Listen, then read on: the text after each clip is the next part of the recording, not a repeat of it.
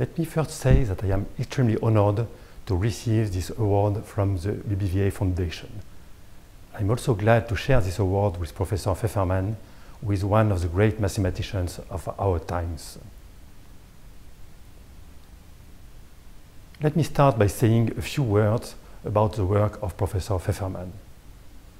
Part of this work is concerned with complex function theory, one of the great achievements of the 19th century mathematics. That theory studies phenomena in two dimensions, including the making of accurate maps, the flow of water on a flat surface, the electric field in a two-dimensional material, and a number of other problems less easily described.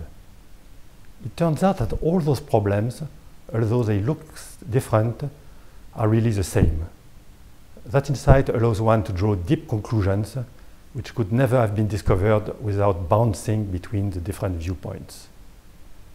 Professor Fefferman discovered an additional, previously unsuspected connection between complex function theory and probability.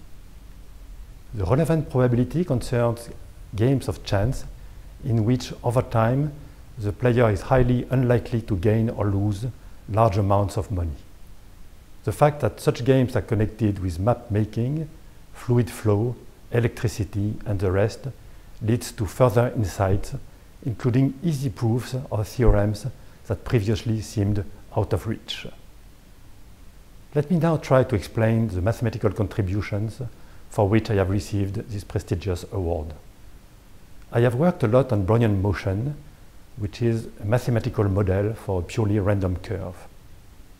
In the last 15 years, however, my area of research has been the definition and study of random geometry in two dimensions. This line of research is motivated by the physical theory known as quantum gravity, which aims at unifying general relativity and quantum mechanics.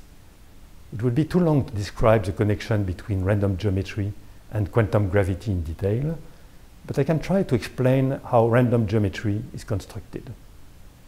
To this end, imagine a world consisting of a large number of cities located on a sphere like the Earth. Some of these cities are connected by roads. They do not cross except at cities. And the distance between two cities A and B is measured by the minimal number of cities one has to cross when going from A to B by following the roads.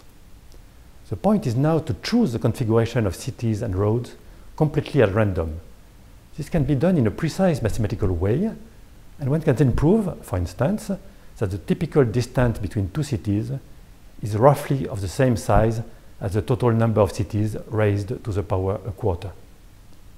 In the limit when the number of cities and the number of roads tend to infinity, one arrives at a model called the Brownian sphere, which is a new fundamental mathematical object. Most of my recent research contributions have dealt with the construction of this model and of several variants and the study of their properties. The Frontiers of Knowledge Award has a major significance for me as it means the recognition of the importance of the new field of research which I have developed together with colleagues all around the world.